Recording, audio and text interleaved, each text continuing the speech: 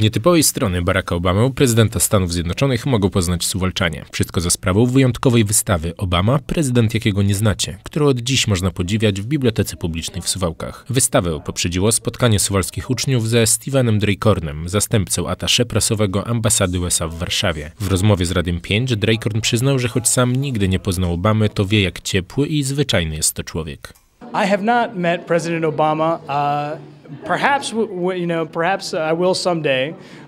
Nie poznałem prezydenta Obamy. Być może kiedyś to zrobię. Te zdjęcia są świetne i to, co w nich lubię, to to, że pokazują, kim on naprawdę jest, jako osoba spoza politycznej sceny. Często ludzie zapominają, że prezydent Stanów Zjednoczonych ma również rodzinę, hobby, przyjaciół. Ta wystawa daje możliwość zobaczenia właśnie takiego prezydenta.